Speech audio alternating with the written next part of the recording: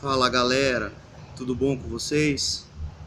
Deus te abençoe, Deus é fiel, grandes obras estão para acontecer na sua vida, você crê nisso? Amém?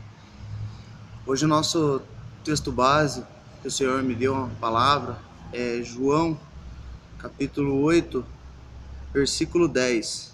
Diz assim: Erguendo-se Jesus e não vendo a ninguém mais além da mulher, perguntou-lhe: Mulher, onde estão aqueles teus acusadores?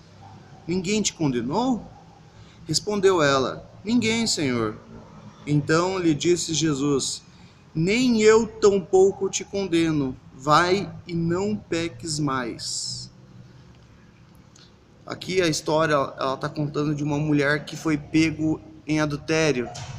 No momento que ela estava adulterando a população, o povo da região, a viu no ato de adultério. E o que, que o povo fez? Porque na lei de Moisés dizia que todo aquele que fosse pego em adultério teria que ser apedrejado. Pegaram aquela mulher e levaram até Jesus para confrontá-lo. Mas olha a sabedoria de Jesus. Falou, Senhor, essa mulher foi pega em adultério. E agora? Vamos apedrejá-la, porque na lei de Moisés diz que nós devemos apedrejá-la. E Jesus aqui conta que ele se inclinou e começou a escrever com o dedo na terra. E o povo ficou insistindo, diz no versículo 7. Como o povo insistia, Jesus se levantou e lhe disse: Aquele que dentre vós estiver sem pecado, seja o primeiro que lhe atire a pedra. E voltou a inclinar-se e continuou escrevendo no chão. Quantas pessoas têm te acusado? Você tem sido acusado? Você pode estar até em pecado, como essa mulher estava. Só que o acusador ele vem nessa hora e te deixar mais para baixo.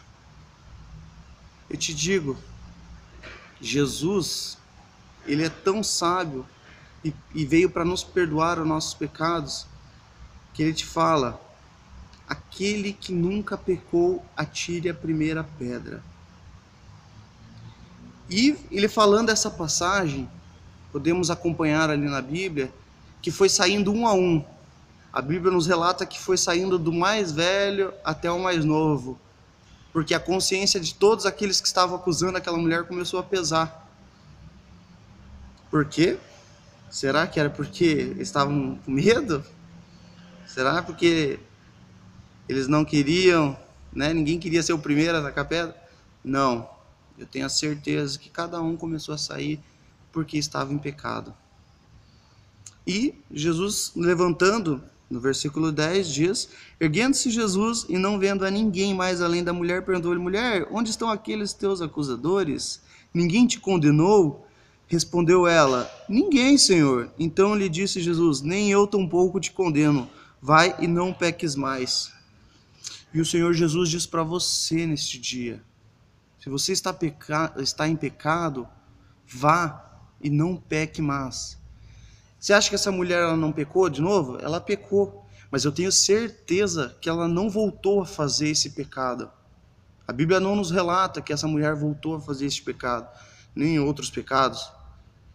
Se você errou, você pecou em uma situação específica, o Senhor Jesus te diz: vá e não peque mais.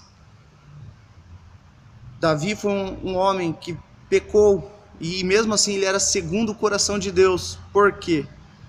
Porque ele não cometia o mesmo erro. Irmão, não cometa o mesmo erro. Toma posse dessa palavra este dia. O Senhor Jesus te diz: vá e não peque mais. Amém? E os teus acusadores, deixa que a própria consciência deles vai condenar eles. Amém? Vamos orar. Senhor meu Deus, nos colocamos na tua presença, Pai. Que seja feita sempre a tua vontade na nossa vida, Pai. Guia as nossas palavras, guia as nossas atitudes, tudo que nós vier a fazer, Pai, colocamos o Senhor na frente, Senhor. Em nome de Jesus, amém.